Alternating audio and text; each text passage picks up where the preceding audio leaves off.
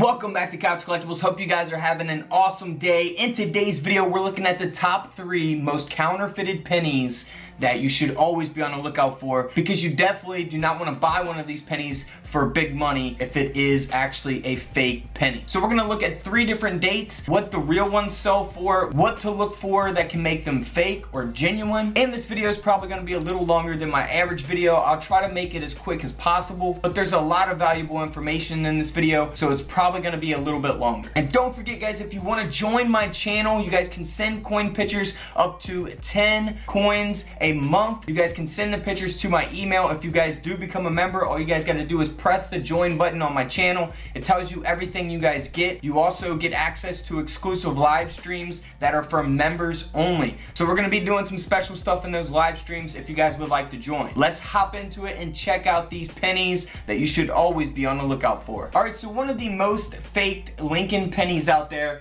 is the 1909 penny. Now there are a lot of different 1909 pennies. We got the 1909P, which is the no mint mark penny here in the image displayed. And then we got the 1909S. You can see that the value varies from $50 to $220. However, it could sell for more money if it is an extremely high graded coin. For instance, here's a 1909S that sold for over $69,000 and that is because of its high grade. Now you see here in this image displayed is the mintage for the 1909S. They only produced 1.8 million of those coins. Just to show you one more 1909S, this one hasn't been graded, uh, sold on eBay, and it's sold as is for $425. So you really see the difference of between a $400 coin and a $69,000 coin. It really all depends on the condition or the grade of the coin. Now, for the 1909, we also have a 1909S.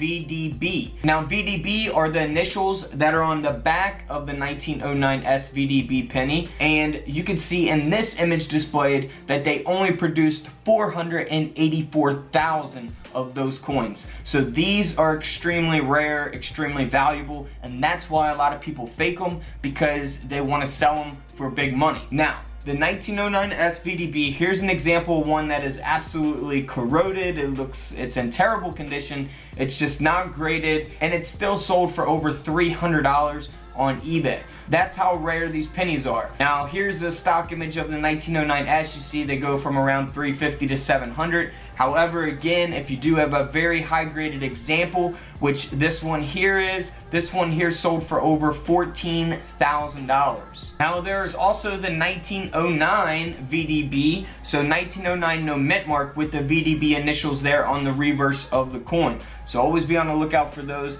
as well because those would be valuable. This one here with the high graded version of it sold for over 7,000 $500. Here is an example of a 1909S that has been altered. So they placed a fake mint mark on there. So this is not a real 1909S. It's uh, most likely what they do is they take a regular 1909 penny that isn't uh, as valuable and they put an S mint mark on it. Or they take a 1909 VDB and put an S mint mark on it to make it appear as if it's a 1909S VDB, the ones that they only produce 484,000 of. So always be on the lookout for the mint marks. Like I said, if you guys want to send your coin pictures to me, if you click the join button on my channel, you guys can get my feedback and my opinion on your coins. But let's move on to this next picture. Here's a good example of seeing if your VDB is actually fake or real. So we got a genuine example there on the bottom and you can see that the B, the crossbar of the B is slightly tilted.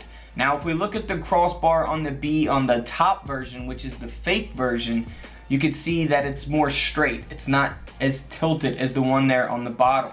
So that is a good example of how you can tell the difference. So always be on the lookout for that. If you guys want to see your coins up close, I do have USB coin microscopes available on couchcollectibles.com. Links will be down in the comments of this video, so you definitely want to have one of those if you're looking at your VDB pennies up close. Next up is a 1914 wheat penny. Now this is one of the most counterfeited pennies as well. the 1914, and that's because it's a key date penny as well. They only made 1.1 million of the 1914D wheat pennies. Now I do have a whole video on those coins, so be sure to go check that out. Now for example, this 1914 here sold for over $4,000, and it's graded at about uncirculated 58. However, if we go to a 1914D that has a very high grade, this one here sold for over $152,000. Yes, these are real auction prices, guys. This is graded at a Mint State 66, and that is what will give it a lot of value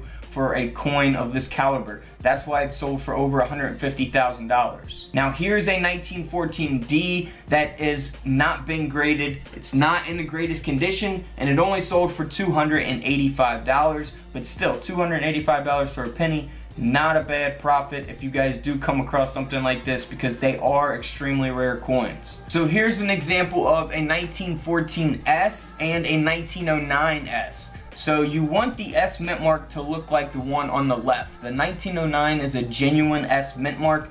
The 1914S is a fake S mint mark. So if you guys have any trouble with identifying fake versus real mint marks, like I said, feel free to join the channel and I will check out your coin images. Now next up, one of the most counterfeited pennies of all time is the 1922 wheat penny. Now here's an example of all the 1922 pennies that they actually made. So we got the 1922D, that's just a regular 1922D. We got the 1922 plain, which is the Philadelphia mint, the no mint mark penny. We got the 1922 weak D and the 1922 no D with the weak reverse and a 1922 no D strong reverse. So let me kind of explain that real quick. I do have a whole video on that. But basically the 1922D with the full mint mark is just a semi-key date that was struck with the new dies. Now the 1922 weak D, you got that weak D mint mark because the dies were overworked, but they were not as overused as the dies that created the no D. And that's the next one, the 1922 no D with the weak reverse. So the obverse and the reverse of the coin were both struck with overused dies and that's why you got the weak reverse and the no D because of the overused dies. Now the 1922D strong reverse the obverse was struck with an overused die and the reverse was struck with a new die. So we got the strong reverse because it was struck with a new die and then the no D on the front of the coin, the obverse of the coin was struck with an overused die and that's how you get that no D. So there are different ones to look for. What a lot of people do is that they will use a tool to scratch away the D to make it a 1922 no D. And you will usually see some kind of mark where the mint mark would be or where someone, you know, scratched it off or used some type of uh, whatever to get it off. But the 1922 regular penny goes for 300 to $1,000 and you've seen the prices of all of the other coins. So here's an example of a 1922 no D that's graded at about uncirculated 58. This one here sold for over $7,000. So they can sell for a lot more money if they are a higher graded versions of the coin. So keep that in mind as well. So you got the 1909, you got the 1914 and 1922. If you guys have any of those coins, you definitely always want to be on the lookout for fake ones because you definitely don't want to get scammed and buy a fake one for your collection. So always keep that in mind when you do come across the 1909, 1914 or 1922 penny. Alright guys, until tomorrow, I will see you all in the comment section below. This is Couch Collectibles and this is where I disappear.